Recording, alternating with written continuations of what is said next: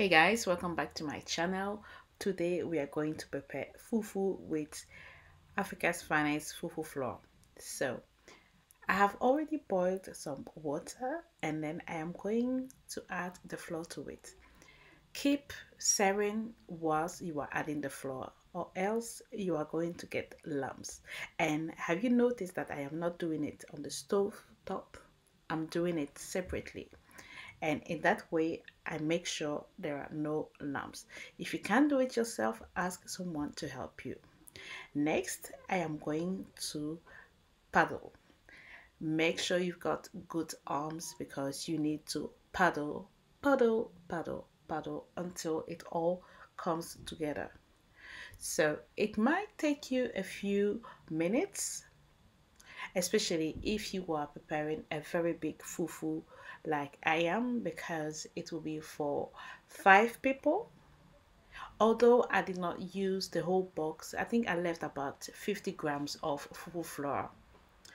Next when it comes together you need to add water. So I have got about half a cup of water here. And then I will transfer it back to the stove top and then I'll wait until the water I have just added boils and then I'll keep paddling. Always look at the heat make sure it is not too high do it on a medium heat. And you saw me reducing the heat now. And again keep paddling. Make sure you use a wooden spoon. Don't go and try a silver one please or else your fufu is going to be messed up. You won't even be able to paddle the fufu. And look at this. It is nice and sticky coming up together. By the way there are different ways of preparing fufu flour. You can also start it with cold water but to be honest with you i have never tried that one. Always with boiled water. So now i have prepared my apotoyiwa or asanka and I've added some water. I am not going to transfer the fufu in my asanka and then I am also going to show you a close-up here so that you can really see how it looks like.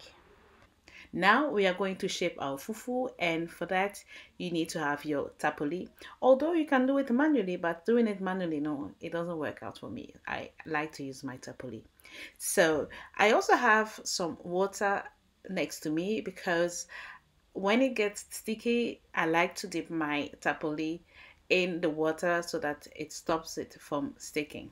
So now we need to shape it with your hand and with the tapoli.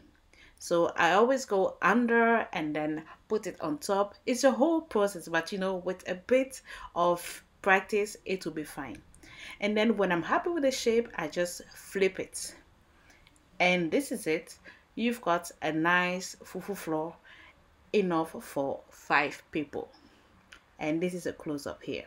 So don't forget if it gets sticky when you are shaping it just use some water and then it will be all right.